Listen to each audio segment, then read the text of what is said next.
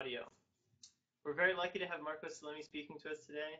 Marco is well known for his work in molecular epidemiology, intra-host virus evolution, and the application of phylogenetic and population genetic methods to the study of human and pathogenic viruses. He was a Marie Curie Fellow at the Rega Institute and the Catholic University of Leuven for his PhD, did postdoctoral work with Walter Fitch at UC Irvine, is currently at the University of Florida. Um, so we're going to get started, and you can see that today we have our very first live audience. It's not just me, and I'm very excited about that. So we'll hear uh, Marco today talking about the phylogenetic challenges in the Retroviridae branch of the tree of life. Take it away, Marco. Okay, thank you. Uh, can you guys hear me? Okay, so, well, uh, first of all, um, I would like really to thank you, Eric, to inviting me this to do to give this seminar. This is really a, a great opportunity, and, um, and as uh, Eric just said, what I'm going to discuss today is uh, uh, phylogenetic challenges in the Retroviridae branch of the tree of life. Essentially, um, we're going to discuss about virus evolution, virus taxonomy, and the peculiar problems that uh, arise when we investigate the molecular evolution of, uh, of fast-evolving viruses and retroviruses and RNA viruses in particular, and the spatial challenges that they, are, that they pose in order to integrate them within, you know, uh, the, the general tree of life. So let me tell you a little bit what we know right now uh, about uh, um, viral taxonomy. Um, so this is actually, this slide is uh, from the uh, viral taxonomy, virus taxonomy web page, is the 2009 release. And uh, so far, um, retroviruses, viruses have been uh, basically mm, organized and classified, I would say. Five different orders, uh, 22 different families, uh, uh, each one is um, eventually divided in 39 genera and 476 different species. Um, and there are also, in fact, uh, 65 family, 81 genera, and more than 1,700 species that have not been, in fact, so far assigned uh, to any specific uh, order. So basically, we really know very little right now about viral classification and viral classification and viral taxonomy. In fact, uh, we know uh, today, well, I mean, some estimates about the number of species that there are on planet Earth. Some estimates say that there are about probably about 2 million. Some other estimates say up to 20 million different species, species uh, um, on Earth. So if we assume that there are at least as many viral species as bacterial ones, and uh, well, we probably might have mapped so far no more than 0.1% of less of all viruses. So obviously, whatever we, whatever we know about the distribution of viruses on this planet today is extremely little, and uh, the picture that we have is extremely partial. This is also due in, in, in the inherent bias of our research. Uh, viruses are um, mostly studied because they are important pathogens. They can be animal pathogens and important plant pathogens as well. So obviously, our um, the research that has been carried over in the in the past, you know, uh, 50 years of molecular evolution of viruses have been really mostly focused, and even before that, on pathogenic uh, uh, species. Uh, but definitely, I think it's safe to say that so far we have barely scratched the surface of what um, viral diversity is on our planet. Now, uh, yes.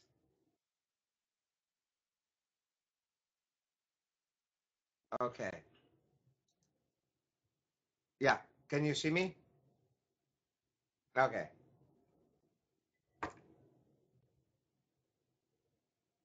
Mm-hmm.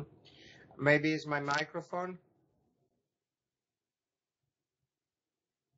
Okay. Okay.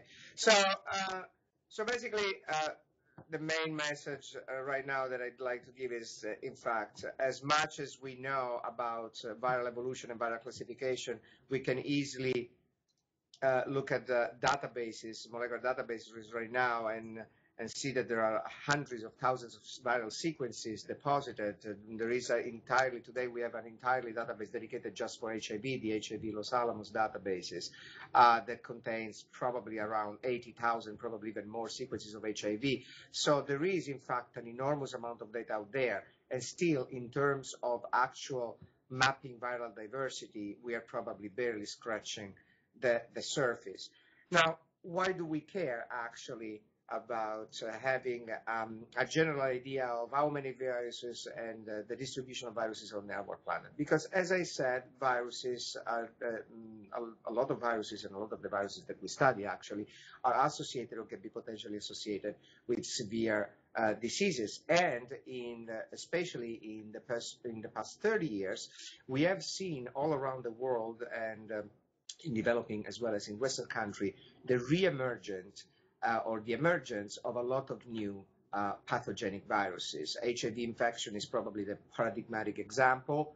Um, a, a, virus that in fact was unknown until the beginning of the 80s. It was in fact the first uh, human retrovirus, uh, a virus with an RNA genome that is uh, retrotranscribed during the uh, virus life cycle into double-stranded DNA uh, and inserted inside the host cell genome uh, a virus that was unknown until the beginning of the 80s and three decades later is responsible for one of the fastest uh, um, growing epidemic in the history of mankind. Same thing for hepatitis C. Right now, there is an estimate that there are almost 280 million people infected with hepatitis C virus. HCV was actually isolated in 1989. So again, and then of course, uh, things like West Nile virus, for example, a virus that historically has been usually uh, localized in um, in, in Africa, in, uh, in Eastern and Central Africa, and that in fact just uh, uh, 20 years ago was introduced in the United States and the next 20 years spread all over the United States and now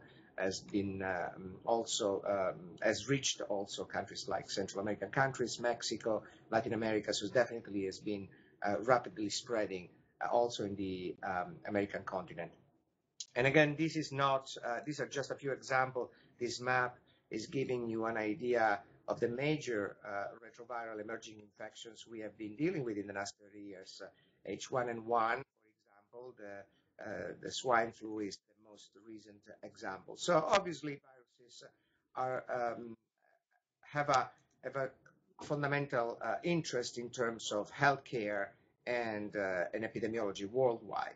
They are also very interesting objects to study from the point of view of molecular evolution because um, especially the retroviruses, and my talk will be today specifically focused on retroviruses, viruses that belong to the so-called Retroviridae family, um, they have a really peculiar uh, molecular biology. They are double-stranded RNA uh, viruses. They actually have a, a single, the, the genome is a, a single-strand RNA genome, but they are actually uh, diploids. Each virions contain two copies of RNA.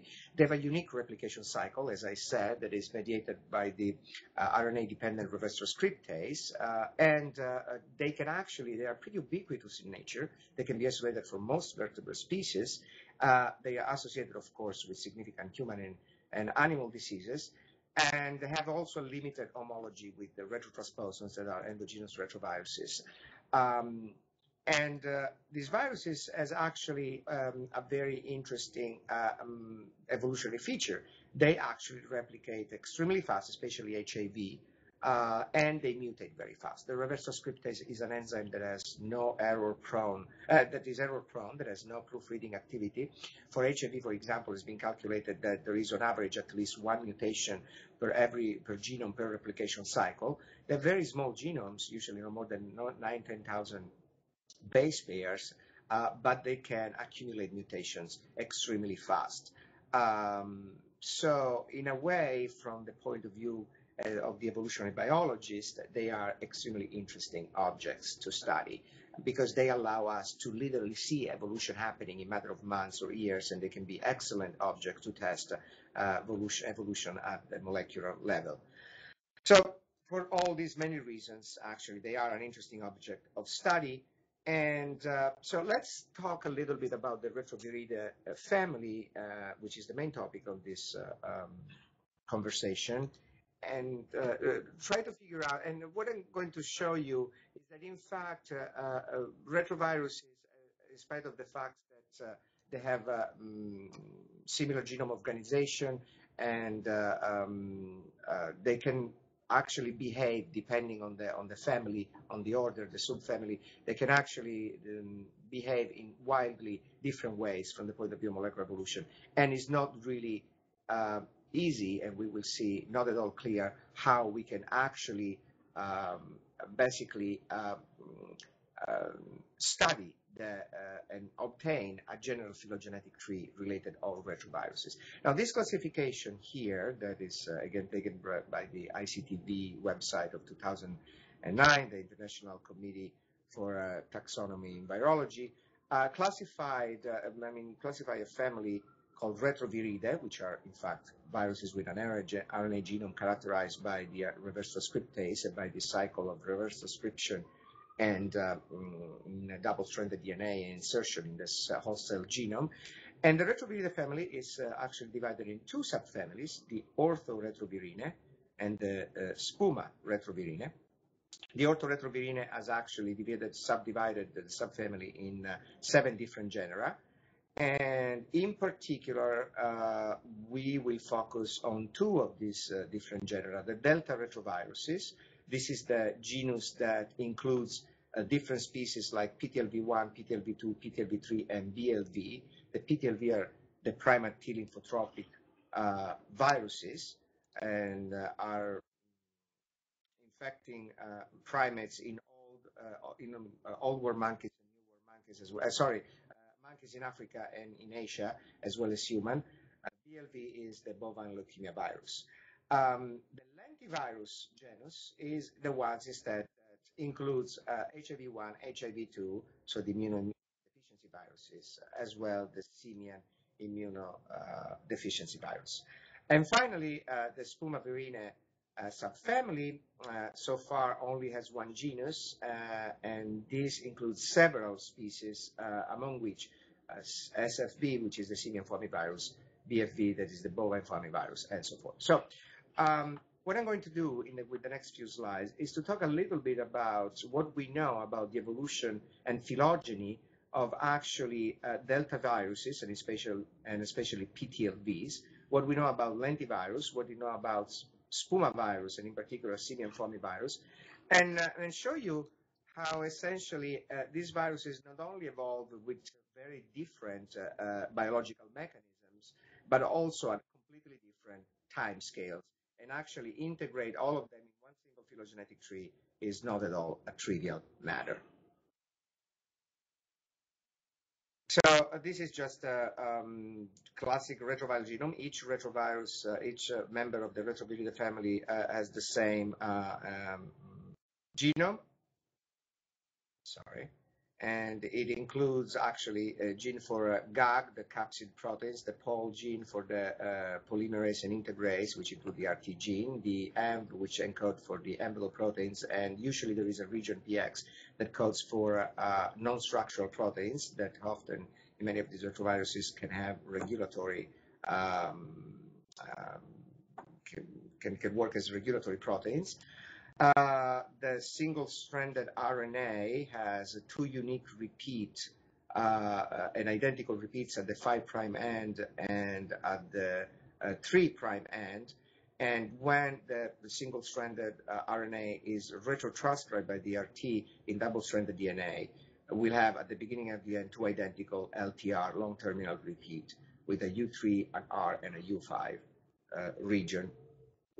Uh, I already said that, uh, in fact, the main feature, biologically speaking, of retroviruses is the ability to infect the host cell and retrotranscribe double-stranded DNA in double-stranded DNA, the genome that eventually is inserted by a specific uh, virus encoded, viral encoded uh, integrase into the um, DNA genome, and eventually the virus is expressed, gives rise to new genomes, uh, new variants are assembled, usually in the cytoplasm, and eventually budded out from the cell so that they can infect new cells. This is common to all the families and subfamilies, uh, all the subfamilies and uh, species, gene, genera, and species of retroviruses.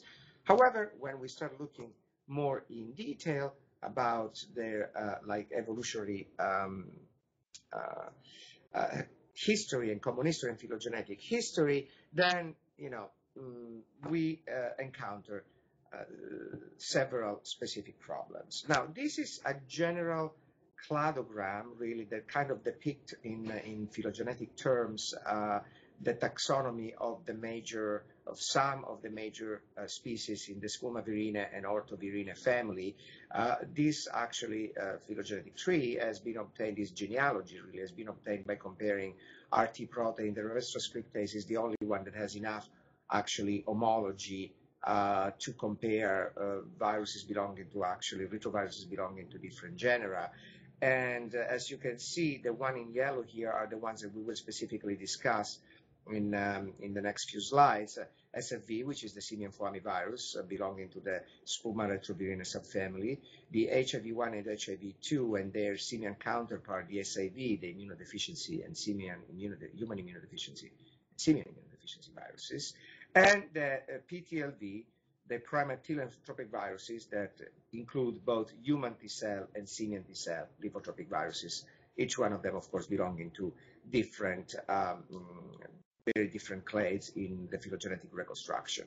Now, uh, this tree actually here is actually quite misleading because when we go into the details and we look at the evolutionary history of these viruses, we can immediately realize that actually we're talking, for example, first of all, of a completely and very different temporal time scale.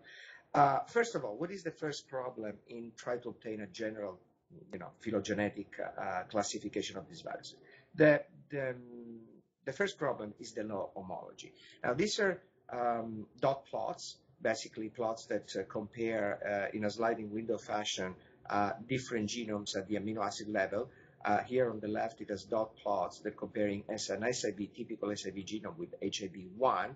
Uh, the segments on the diagonal represent regions where there is at least 65% uh, or more amino acid similarity in a window of 10 amino acids uh, that is slide along the entire genome.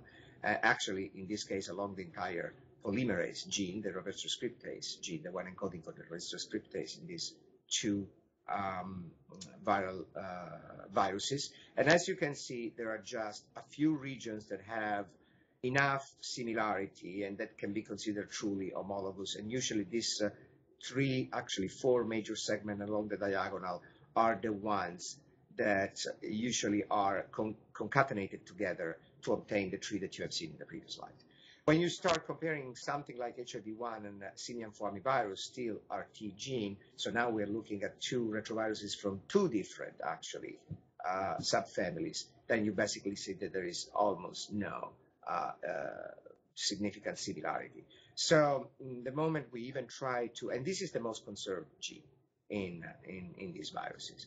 Uh, so already this uh, can tell us that obtaining a tree like this that is truly reliable is not really easy because of the law homology when we start comparing uh, viruses uh, belonging to really different, uh, retroviruses belonging to really different families and subfamilies.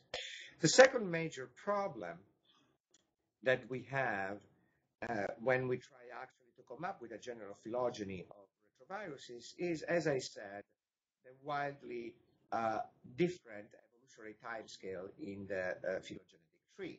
Uh, we will show in, um, few slides that actually uh, the origin of simian foamiviruses is uh, probably dates back probably several million years ago, and probably they share a common ancestor with the bovine feline virus, uh, foamivirus, which is another virus of the same subfamily, as long as 80 million years ago. So this part of the tree, for example, is extremely old.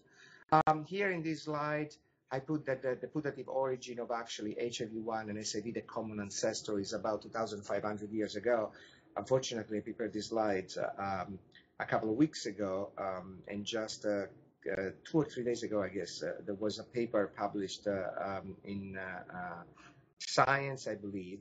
I don't know if it's Science or Nature, but an important paper from uh, Mike Worobey, who actually has uh, recalibrated uh, in an accurate way the molecular clock find out the common ancestor, the time of the most recent common ancestor for HIV and SIV. And in fact, he calculated this, that this ancestor could have existed as long as 130,000 years ago. So clearly we are talking about uh, the, a date that is much older than the one that I put here on my slide, but is definitely much, much younger if compared to the time, temporal timescale of simian viruses. When we talk about primate lymphotropic viruses, belonging again to a different uh, genus, um, now we are talking about an evolution which had its uh, most recent common ancestor for all the PTLVs probably around 400,000 years ago. So again, you know, very different time scale, a little bit probably older than the HIV and SAV, definitely much younger than uh, the uh, FOAMI viruses. So clearly, uh, these different, uh, wildly different evolutionary time scale represent a serious problem when we try to obtain a general, a general phylogeny of these uh, viruses and represent them in one single phylogenetic tree and resolve their phylogeny uh, because they have wildly different molecular clocks. And that's actually what this slide is all about. It's a sort of schematic representation of the different evolutionary rates uh, that this virus exhibit. Now, HIV, SAV, and notably, I will talk about this um, later in more detail, HTLV2 uh, uh, that is actually spreading in injecting drug users, this is what IDUs stands for, usually have evolution rates between 10 at minus 3 and 10 at minus 4 nucleotide substitution per site per year. So HIV and SAV are actually considered among the fastest uh, um, evolving um, organisms that uh, we know about on our planet. Now, when we look at uh, primate lymphotropic viruses uh, like PTLV1 and PTLV2, uh, the rate is actually much slower. It's around 10 at minus 6, uh, sometimes even up to 10 at minus 7 nucleotide substitution per site per year. What is interesting here is, that, again, HTLV2. HTLV2 is the human T-cell lymphotropic virus type 2 that uh, can be actually found in two different populations right now. One is uh, uh, the virus is endemically infecting um, Native American tribes, especially in uh, um, South uh, United States and Southern America, and also some isolated pygmy tribes in Africa. But HTLV2 also can be found at a very high seroprevalence in injected drug users, uh, uh, most of which are co-infected with HIV. Now, one thing that is interesting and that we will discuss further is that actually the same virus uh, that is being um, uh, spreading in two different populations exhibit two wildly different rate of evolution, whether it's infecting drug users and endemic tribes. We will see uh, uh, that this actually has an interesting explanation that has to do with uh, um, with um, the link of uh, and the rela um, correlation between and, and, relationship between evolutionary rate and actually uh, transmission rate. Um, simian viruses actually exhibit even uh, slower uh, evolutionary rate, around 10 at minus 8, almost similar to the ones of mitochondrial DNA. So as you can see, all of them are retroviruses, RNA genome with uh, reverse transcriptase mediated replication of the genetic information, but wildly different evolutionary rates. And part of our talk will be about investigating why this is so. And of course, this is already makes very interesting this kind of uh, objects. So the evolutionary dynamics of these viruses are also very different, which also in part uh, uh, explains why they have such different evolutionary rates. Um, Simian viruses are usually characterized by low replication rate. They infect a host and uh, almost immediately after infection, they stop replicating within the host and become essentially dormant. Uh, and they are essentially characterized throughout the evolutionary history by host virus co-speciation. I show some uh, uh, real studies that demonstrated this point. They seem to co-speciate along with the uh, um, simian host that they infect. Now, viruses like uh, the simian T lymphotropic viruses, uh, or in general the primate T lymphotropic viruses, instead are characterized by some sort of what we say is a little bit qualitative, but medium replication rate. Uh, and mostly they get transmitted by as uh, horizontal gene transfer. Uh, usually, for example, HTLVs, human T-cell lymphotropic viruses, the ones infecting um, the, uh, the injecting drug users are transmitted, for example, by blood-to-blood contact uh, through needle sharing between drug users. Uh, sometimes can also be transmitted vertically, like, for example, HTLV in endemic tribes, where the, the main route of infection is actually from mother to child through breastfeeding. And finally, and both SFV and STLV essentially do not recombine. There are no uh, cases that have been reported of recombination events uh, among STLVs or among uh, simian viruses. HIV and SIV, on the other hand, are characterized by extremely high replication rate. HIV infecting a host can replicate, you know, every uh, two, three days in, in the infected host. By frequent recombination, HIV and SIV are highly recombinogenic. And of course, as we have seen, uh, very fast evolutionary rate. So let me now show you um, a few specific examples from uh, uh, the literature about uh, what we have learned over the past uh, uh, 10 years on the evolution of these viruses. And let's start from the simian viruses, which are the, the slowest evolving retroviruses that we know. Um, and uh, this is basically uh, a paper that I've shown a few years back how actually these SFV have been co-speciating with their host. Now, the concept of co-speciation essentially is the concept of a, a parasite infecting a host. And the idea is that in case of co-speciation, you have a phylogeny that represents, of course, the evolutionary relationships uh, uh, among different host species that are, each one is infected by a parasite.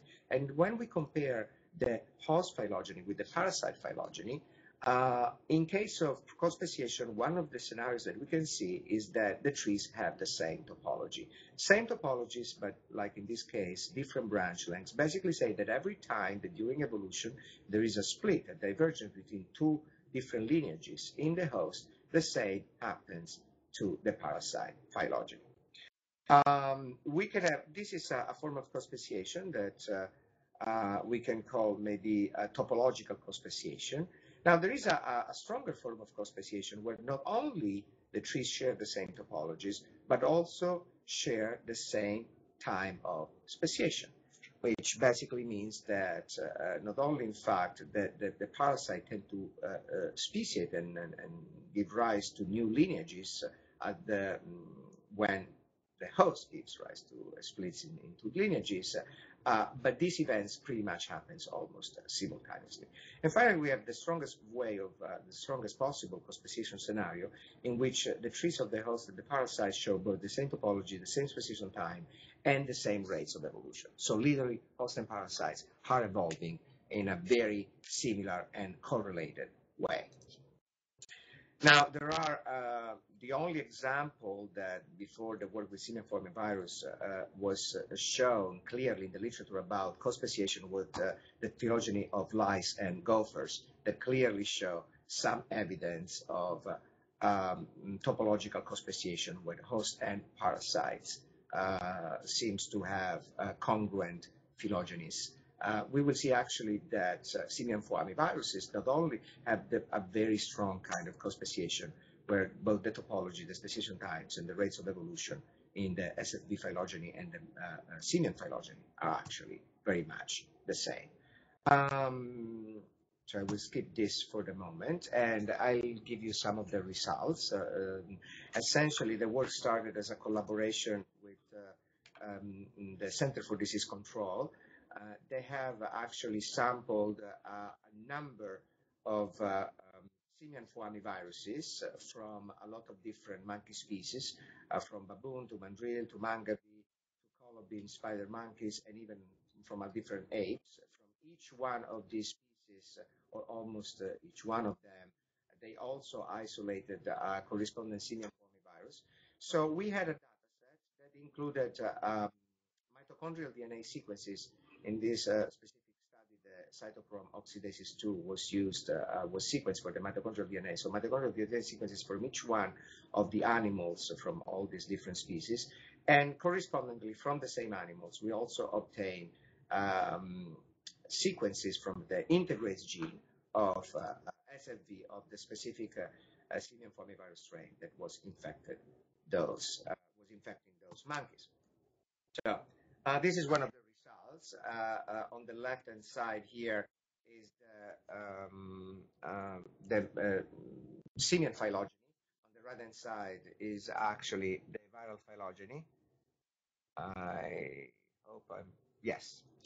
And, and basically uh, the, the trees were superimposed in order to check whether there was congruence between speciation events in the one phylogeny and speciation and events in the other phylogeny, and a specific uh, randomization test was, uh, uh in, in, this particular, in comparing these two trees, uh, at least 24 co-speciation events were observed, and a randomization test was performed to see whether these events could ever um, could could have been the results of just, you know, randomness. And basically, the test is fairly simple. Basically, what you do is that you randomize the, the name on the tips of both the parasite and the host uh, phylogeny. And then again, you count and you do this randomization 10,000 times and you count and then you superimpose the trees, a couple of trees for each randomization and you count number of possible co-speciation.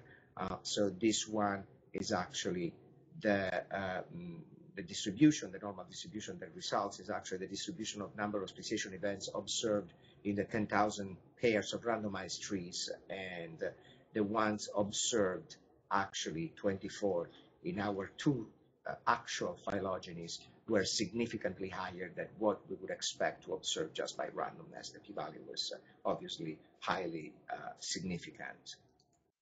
So definitely there is co-speciation ongoing. So uh, there is uh, topological co-speciation.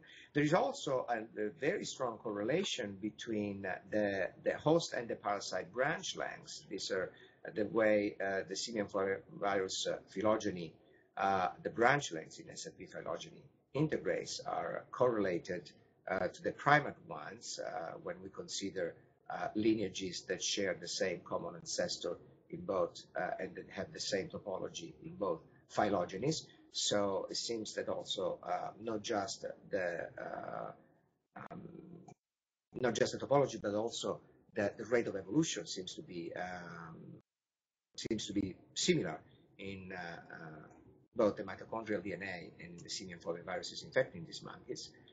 And finally, we estimated um, evolutionary rates, both for the SFV3 and, uh, and a specific evolutionary rate for the simian flavivirus tree and from the uh, primate tree and try to put an evolutionary time scale on these trees.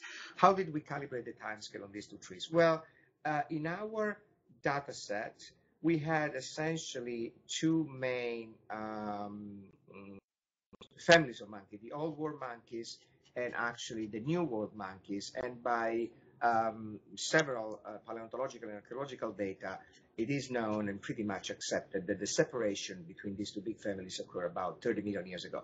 The same split between old world monkeys and, uh, and actually, sorry, apes here, I should have said, that happened 30 million years ago. Apes includes gibbons, orang, and of course African apes and, and humans. So the split between were monkeys and apes that occurred 30 million years ago, this deep split in the primates phylogeny is also present in the simian flavivirus phylogeny. In other words, viruses uh, that are isolated from uh, these um, animals uh, cluster monophyletically and they are clearly separated from the viruses uh, from the apes. So we basically used, uh, because there was this perfect concurrence in the phylogeny, 30 million years in the phylogeny to both calibrate the molecular clock of the monkey virus and uh, the simian Foami virus.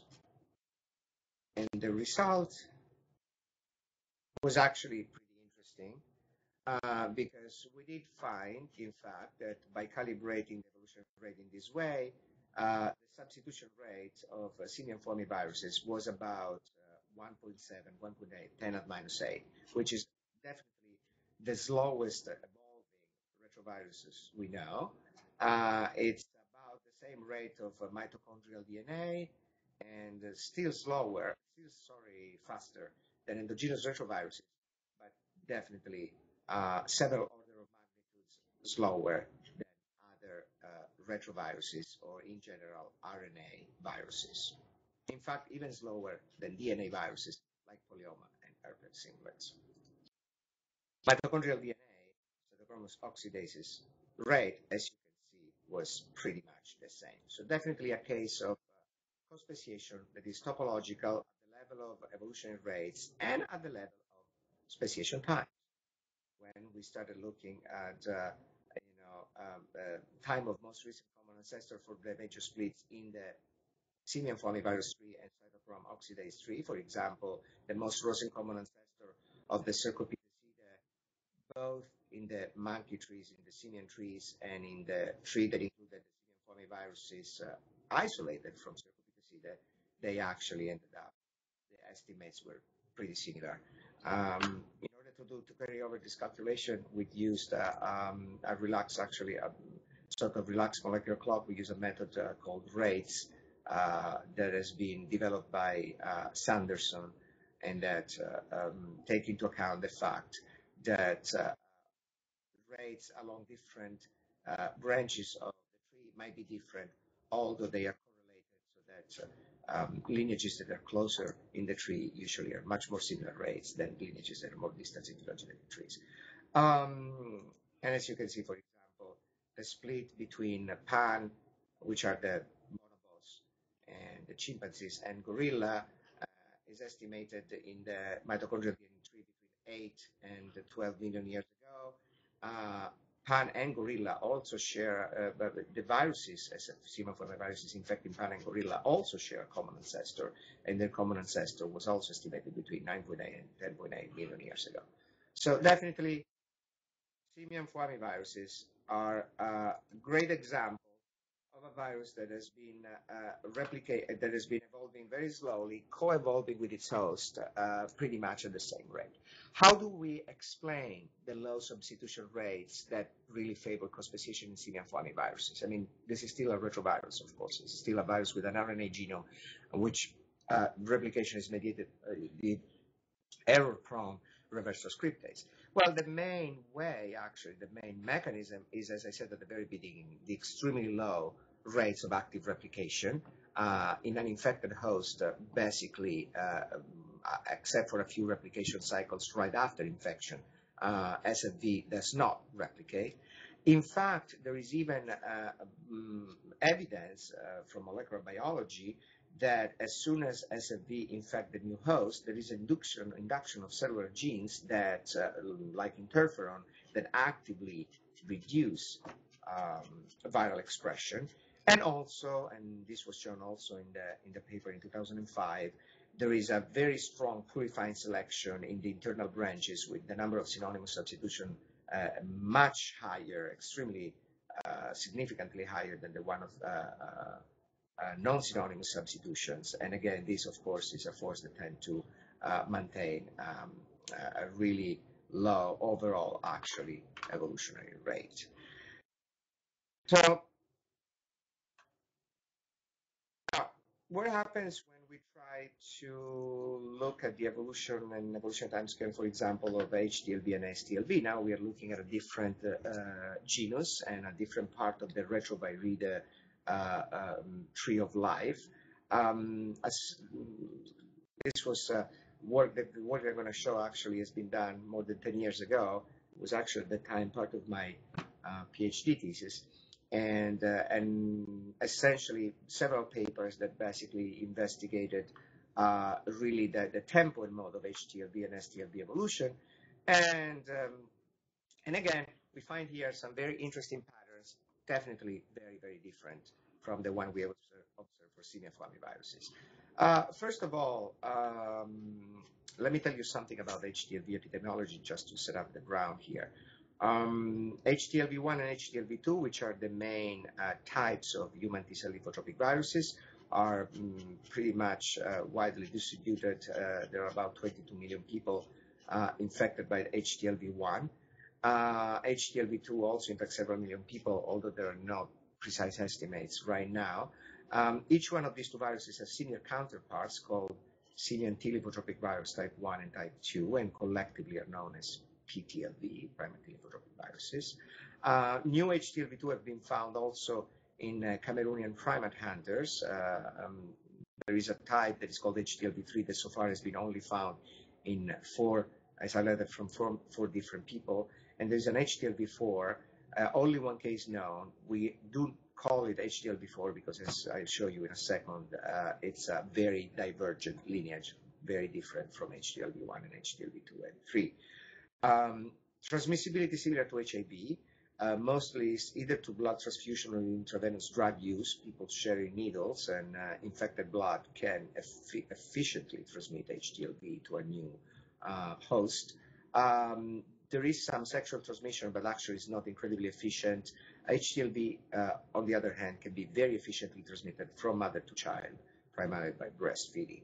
Um, HTLV1 and 2 are also associated with specific disease, uh, acute T-cell leukemia lymphoma, and tropical spastic paraparesis, which is a neurological disorder for HTLV1, and HTLV2 is also associated with uh, um, uh, lymphoma-like and uh, neurological-like symptoms and illnesses. Uh, it's not clear if HTLV3 and HTLV4 can actually give diseases. Now, so they are pathogenic, at least HTLV1 and HTLV2 are pathogenic. One important difference to keep in mind, and we will see at the end that this is probably an, uh, an important thing uh, for uh, understanding really the evolution of these viruses is that in spite of the fact that HTLV1 and HTLV2 are pathogenic and their pathology is very aggressive and not treatable, only a tiny minority of the people infected with HTLV develop disease, no more than 1 to 3% of the people infected. Whereas, for example, in the case of uh, HIV, uh, HIV not only is extremely pathogenic, but virtually every single person infected by HIV, whether in a short term or in a longer term, sooner or later will develop immunodeficiency if not treated with antiretroviral therapy. On the other hand, simian viruses are, mm, for what we know right now, absolutely non-pathogenic, and they seem to coexist with their host in a uh, rather benign way.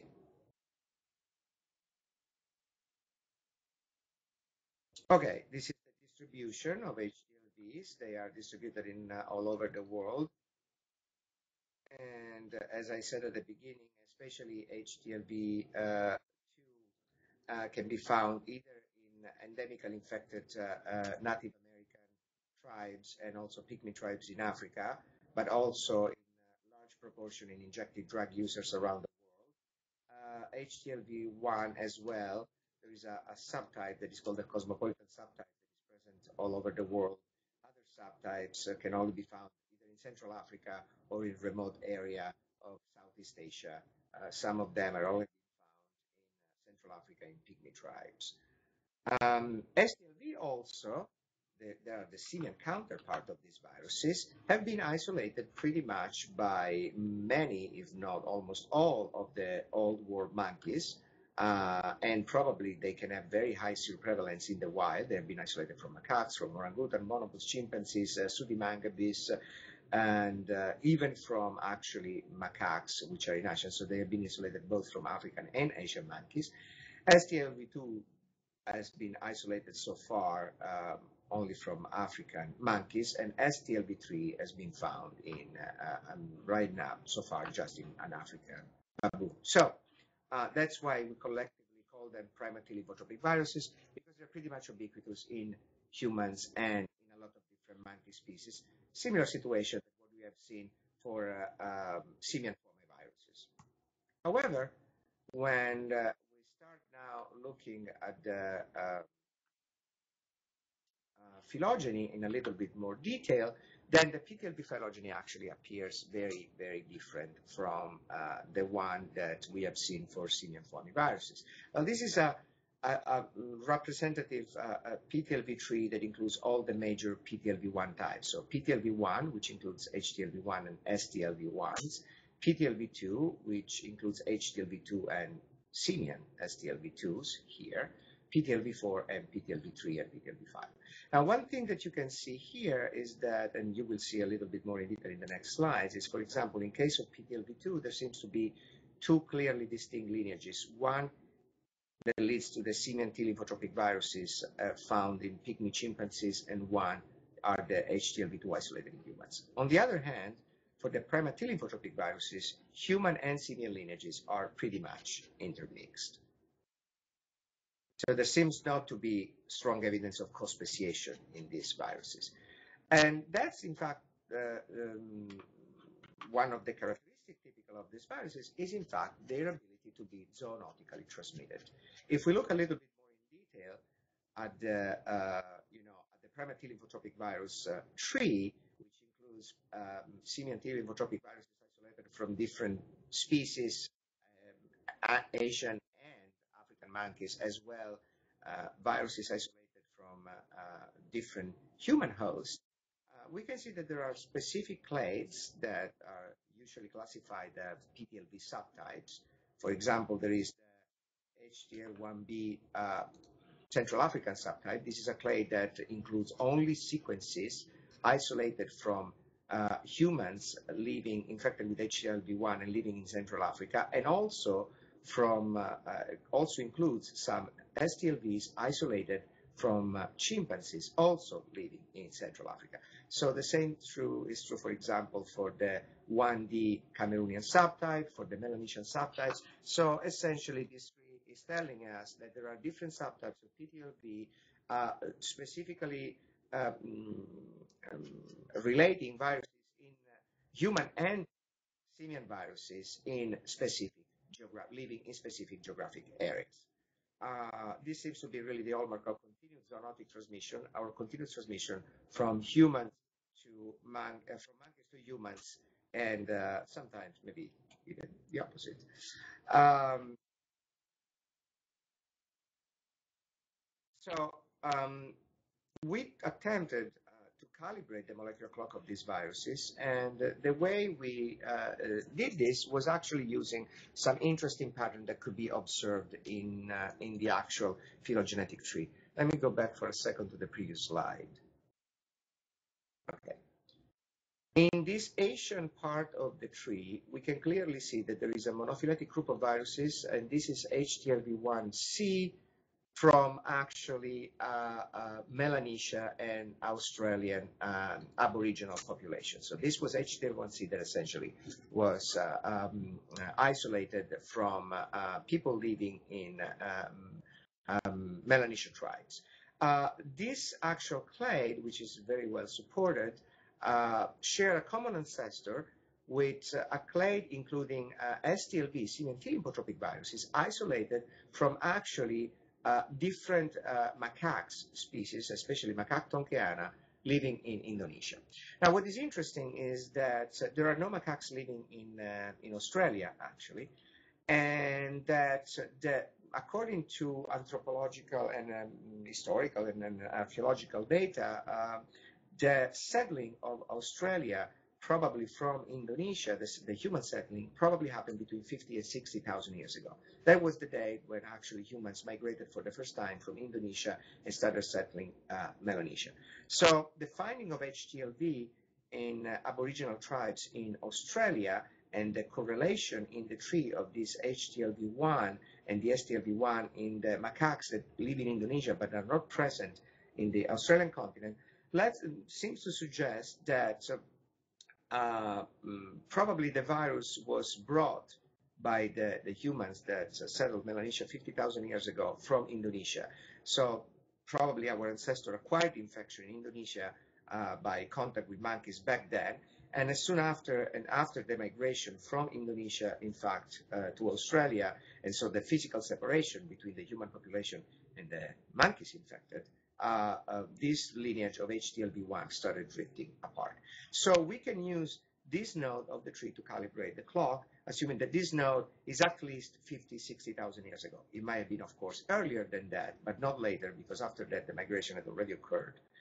So if we use actually the migration and the settling of Australia as a calibration of uh, uh, the molecular clock, um, we can actually um, estimate that overall uh, the rate of these uh, uh, viruses, the rate of evolution of these viruses is around 10 to minus 5, 10 to minus 6 per substitution per site per year.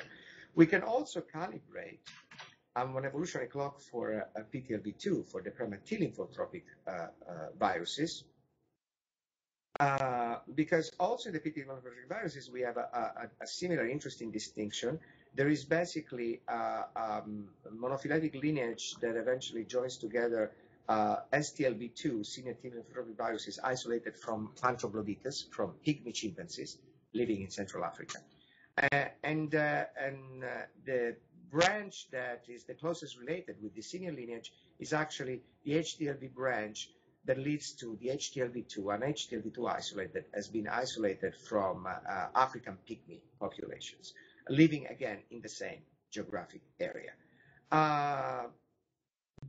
In turn, the, the HTLV2 in pygmy is separated from the HTLV2 that is now uh, um, spreading all over the world, and uh, and also the HTLV2 that is today present in uh, and infected Native uh, American uh, uh, tribes.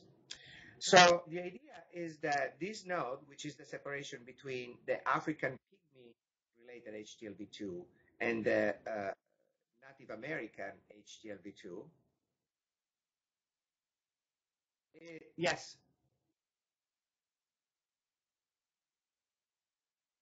To wrap it up. Yeah, yeah, yeah, of course, of course.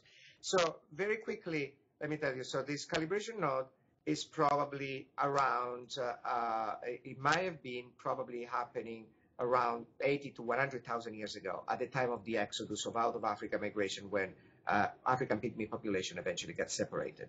So by wrapping up and calibrating the clock and essentially coming up with some analysis, what we can see is that these viruses, probably all HTLVs, shared a common ancestor between 200 and 400,000 years ago, so definitely are all viruses, and uh, although much younger, the simian viruses. The evolutionary rate, when we cal calibrate the evolutionary rate um, for the HTLV2, for example, infecting uh, endemic tribes, we find that there's about 10 to the minus 6, 10 to the minus 7 nucleotide substitution per year. But when we try to do the same calibration in HTLV2 infecting drug users, we find actually that the rate is much, much faster. The reason why we think there is this huge difference is because of actually infection rate. Uh, we have shown many years ago that essentially the main difference between HTLV2 infecting uh, uh, endemically population and infecting injected drug users is in, that, in drug users, the virus is spread much more, much faster because of uh, needle sharing among different drug users. At every uh, new infection, there is a chance for the virus to replicate, therefore to introduce and accumulate mutations, whereas virus in endemic population usually, uh, uh, as soon as it infects a new host, for example, a child, from uh, a mother replicates just for a few cycles and then it becomes dormant. So basically the virus has much less chances to mutate in uh, injecting drug users than it has when it's spreading vertically from mother to child. And this accounts for the wild different replication rate. Now, I don't have time too much to go to HIV, but it's probably known by everybody that HIV, on the other hand, is a much more recent history. Again, we're talking about zoonotic transmission, like in case of HTLVs, but now we're talking about an epidemic that probably is spreading in humans only within the last 100 years. A virus that is replicating much, much faster, and also that recombines very, very quickly. So let me give you uh, some conclusions here. Um, what can we say in general of all the different retroviruses? That in general they have little or no homology, especially when we consider retroviruses belonging to different genera that they have widely different evolution rates and time scale that are usually related to their mode of transmission, replication rate in the host, and so forth. They have very different evolutionary patterns, co-speciation within us for simian viruses, ancient zoonotic transmission and horizontal transfer for PTLVs, recent zoonotic transmission, and horizontal transfer for HIV-SAB. Uh, some of them absolutely do not go uh, undergo recombination. HIV-SAB does, in fact, very frequently. And for all these reasons, uh, try to put them together and in one single coherent uh, uh, uh phylogeny is actually very challenging, and uh, especially because you know they're not homology probably has been lost. So uh, it probably makes much more sense to study this virus, each species separately, and then try to um, rejoin them in, in the tree of life, uh, comparing different trees that are partially overlapping using super tree kind of approaches. Uh, taxonomic classification based on genome structure or strictly bifurcating trees might not be related to actual evolutionary history at all for all these reasons, and especially for the presence of frequent recombination. Uh, the last slide I want to show you is about this uh, time frame. So there is an interesting pattern that emerged when we study these retroviruses. We go from simian foamy viruses that have been probably co-evolving with the host for millions of years that is completely non-pathogenic. Uh, we have simian T cell lymphotropic viruses also evolving with the host at least, were also not co-evolving with the host, but evolving within monkeys probably for the past 500,000 years, also non-pathogenic. HTLVs have a much more recent origin. They have been transmitted from monkeys to humans within the past 5,000 years, and they are mildly pathogenic. Remember what I said at the beginning, 1% to 3% of people infected with HTLV are actually uh, um, uh, develop actually diseases. And finally, we have 20th century retroviruses like HIV that just uh, uh in the past uh, 100 years jumped into our species and are extremely pathogenic. Uh, so there seems to be a trend between the, the time that has that particular uh, retrovirus being evolving within a host and its pathogenicity, an inverse correlation, which is maybe expected. And the real interesting question, evolutionary speaking, is since all these retroviruses seems also to be to have some homology, at least in terms of genome organization and reverse transcriptase, with endogenous retroviruses, uh, the two potential hypotheses for their general origin is that either retroviruses originated from retrotransposons, so somehow the endogenous retroviruses were the original ancestor, and eventually some of these endogenous retroviruses acquired the ability to be transferred horizontally, so somehow escape from the genome, or maybe it's exactly the opposite. Maybe uh, retroviruses are just among the ancient, most ancient objects that uh, we know, maybe a relic of the RNA world that eventually uh, uh, split in endogenous retrovirus and um, uh, exogenous retroviruses. I have no answer. I mean, this is uh, completely, this, the questions in these slides are completely open questions. Um, but uh, definitely interesting questions. And this is one of the reasons why, as I said at the beginning, these objects uh, are very interesting to uh, a very interesting object of study uh, from the point of view of evolutionary theory.